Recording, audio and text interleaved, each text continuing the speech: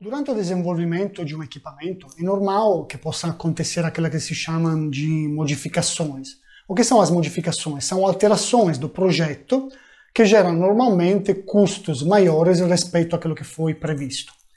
Eh, o problema é agravado pelo fato que estas modificações frequentemente acontecem durante as fases finais do desenvolvimento de um equipamento, por exemplo, durante o tryout ou durante o startup, fases durante as quais é muito difícil fazer alterações no equipamento, justamente porque o equipamento já está pronto.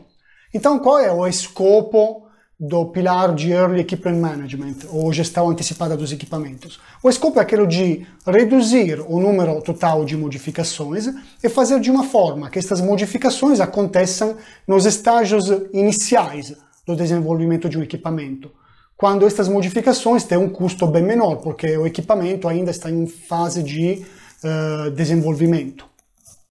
O efeito das modificações se manifesta também no tempo necessário para o equipamento para alcançar o nível desejado de desempenho, por exemplo, o nível de OE. Vamos ver o gráfico aqui à minha direita. Neste gráfico, podemos ver que a maioria das modificações acontecem na fase de startup e de tryout. Eh, sendo assim, o que acontece? Que o tempo para o equipamento chegar no OE de 100% é muito elevado.